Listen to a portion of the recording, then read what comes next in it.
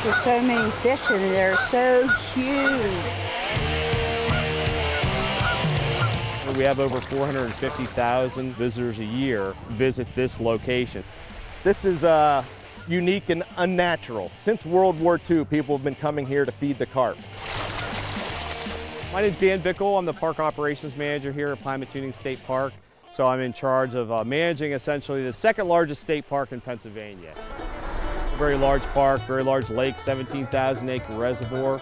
It is a man-made lake. This reservoir was completed in 1933. Pymatuning Lake Reservoir is right on the Pennsylvania-Ohio border, and we're just a short drive from Pittsburgh, really. It's only an hour and a half. Ready? This is the spillway. This is actually a secondary dam to flood the upper reservoir, which is 2,200 acres. From day one, it's been a tourist attraction. Boating, fishing, we have some of the best fishing uh, in the eastern United States in this reservoir. Saw a lot of young of the year or one year old walleye, so it should be good in a couple of years. I'm Tim Wilson. I'm a fisheries biologist with the Pennsylvania Fish and Boat Commission. The majority of the muskies, walleyes, and many other warm water fish that we stock throughout Pennsylvania. So they, they collect them here, they, hat, uh, they collect the eggs, spawn them, hatch out the eggs, raise them to fingerling size, and stock them throughout the state. These are the biggest specimens in the lake. Uh, and this is a tiny fraction of the carp population in Pymatuning Reservoir. They are a introduced species. They were brought over from uh, Europe and Asia in the late 1800s as a, a food fish, so they could be commercially uh, caught and shipped to market. Uh, they have spread through human hands throughout North America, and we consider them naturalized. They're part of the ecology just about everywhere you go. They're almost everywhere. Carp, carp, yeah. I don't think I've ever seen anything else other than carp, actually. We think about carp as not an edible fish, but people do eat them.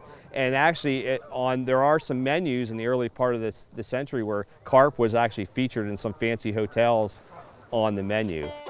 You have the biggest ones here, and yeah, there's several thousand at any one time, probably. Unbelievable. So wild how many fish there really is here. Millions. Has to be millions. Has to be and there's two distinct populations because there's the population in the sanctuary above the rim and then the population below the bowl. Uh, occasionally when there's a flood they will exchange but for the most part they're rather distinct populations. If you go to the southern end of the lake those carp don't even know the spillway exists. They've probably never been up here. This project happened in 2008. It was over a $2 million project to, to renovate this area. Prior to that, we just had a little white wooden shack type building here. But it's beautiful. This area is handicapped accessible, has observation areas, um, um, modern restrooms here, and uh, gift shops, snack bars. More bread.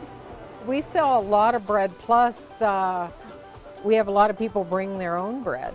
So it's, and there's a couple of businesses around that sell bread also.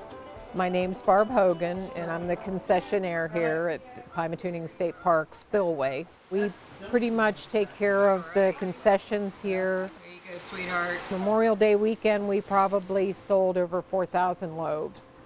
Plus, you figure probably 20% brought their own. So that's a lot of bread. But these fish, you wouldn't believe the amount of bread that they can eat. It's amazing to me that they can eat that much, and we don't have one single overweight goose. the ducks walk on the back of the fish. There's so many of them side by side. I can remember coming up, my mom, my mom's here now. She used to bring us up when we were kids, and uh, it's kind of been a family thing over the years.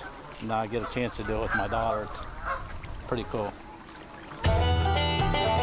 in state parks in Pennsylvania, we're fortunate that there's still there's no entrance fee.